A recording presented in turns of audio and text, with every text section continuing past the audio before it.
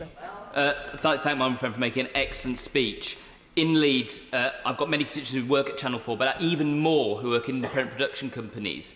Um, Kay Meller of Roland Productions. She recently passed away, but great creative talents like Kay Meller wouldn't be able to come forward without the 221 million pounds Channel 4 invested in independent production in 2021 and we need more Kay Mellers and more Rolands not less because of US imports.